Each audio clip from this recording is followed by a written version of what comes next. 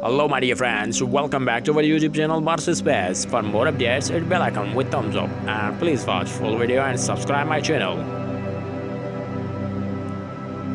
NASA's Mars Perseverance rover using Mastcam-Z camera to capture these amazing landscapes of planet Mars at the surface of Mars. Surface of Mars is filled with rocky structures and sand hills, like deserts but in ancient past, Mars was filled with water.